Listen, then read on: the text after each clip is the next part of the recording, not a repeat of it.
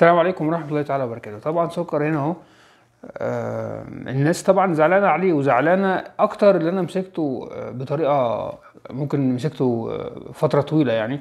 وده ممكن أكون أنا تم- تماديت في الموضوع. بس اللي مزعلني أكتر إن إن في ناس وناس قديمة معايا في القناة قالوا أنت بتعمل كده عشان مشاهدات ولايكات.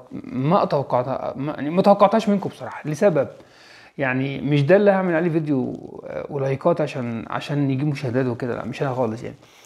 ممكن أنا كنا بلغت شوية في رد فعلي وده من زعلي عليه. المهم إحنا دلوقتي مش لازم على طول أول حاجة نعملها نوديه دكتور. مش كل حاجة دكتور يا جماعة. إحنا الفكرة اللي إحنا بنشوف هو آه، أعراضه إيه آه، دلوقتي هو بقاله يومين ما بيعملش حمام مثلا ده اليوم التاني طبعا منقطع عن الأكل وقاعد زي ما أنتم شايفين بيتحرك بالعافية. طيب هل نوديه دكتور على طول؟ لا طبعا. طب هو رجله مكسورة؟ لا هو بيق- بيقف على رجله بيمشي على رجله. فما ينفعش ان إحنا نوديه الدكتور وخلاص هيديله مضاد وخلاص. لا إحنا خلينا حريصين واحدة واحدة. أول حاجة هنعملها نلاحظ الأعراض اللي عليه. هو دلوقتي بقى له مثلا ده اليوم التاني ما بيعملش حمام يبقى ممكن يكون احتمال في إمساك. تمام. أيوه بالراحة. فنديله حقن زيت زيتون. تمام دلوقتي ونشوف الوضع معاه إيه ونرجع لكم تاني. عشان هو ممكن يقاوم فممكن تمسكه من ممكن تمسكه من من الرقبة كده. تديها له. أيوه ترفع. بس بس. يلا يلا يلا يلا يلا يلا. يلا يلا يلا. بس اشرب بس لمصلحتك يلا يلا. أيوه كده. بس. زيت الزيتون آه، فايدته إيه؟ اللي هو يعني إيه؟ مسهل شوية للأمعاء فممكن آه، ممكن يحاول إن شاء الله اللي هو ينزل حمام أو يعمل حمام. طيب فرضا لو هو ما عملش حمام بعد مرة واتنين من زيت الزيتون بننقل لحاجه اسمها Duphalac. Duphalac ده شراب لاكتيلوز أو زيت اسمه البرافين أو بارفين. دي دي حاجات زي ما أنتم شايفين ده اللاكتوز اللي هو Duphalac. دي حاجة ممكن برضو تسهل الموضوع عليه. طيب فرضا لو ده ما حصلش وده إن شاء الله يعني ده نادرا ما بيحصل لأن ساعتها بيكون الإمساك شديد. في الحالة دي حاجة اسمها حقنة شرجية الحقنة الشرجية عندك حلين يا إما بتديها في البيت يا إما تروح عند الدكتور. الحقنة الشرجية ممكن تكون عن طريق زيت الزيتون برضو بس بتيجي عن طريق إيه؟ آه فتحة الشرج.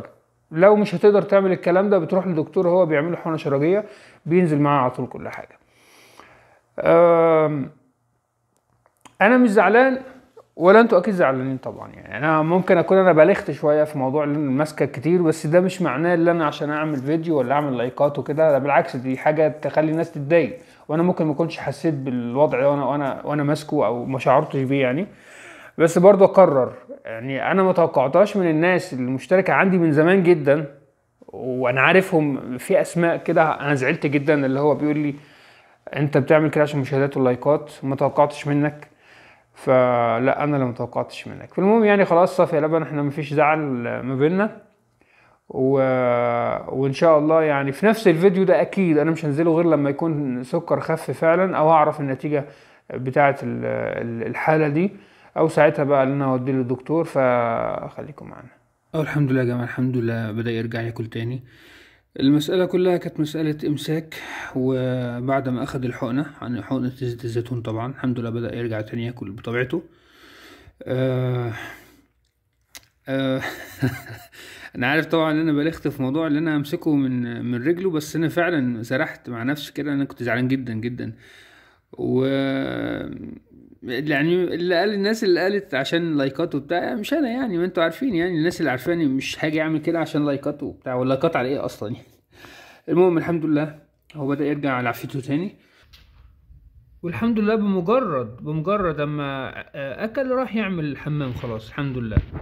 ده طبعا اليوم اللي بعد آه، اليوم اللي بعد آه، آه، تعب.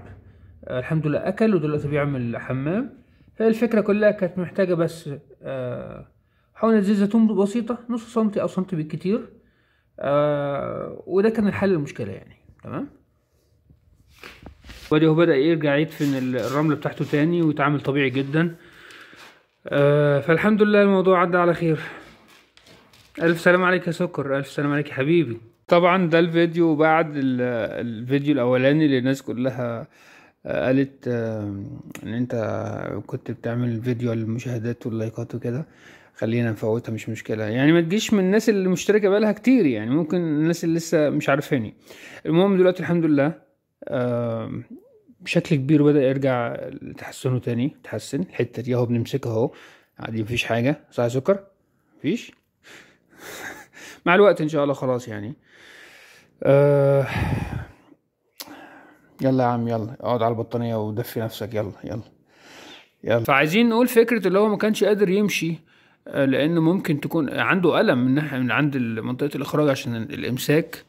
آه، أنا كنت خايف بس يكون حاجة في رجله وطلع الحمد لله. مادام هو مادام هو آه، مش بيعرج عليها أو مثلا مش قادر يمشي عليها ما استحالة يكون كسر يا جماعة استحالة يكون كسر.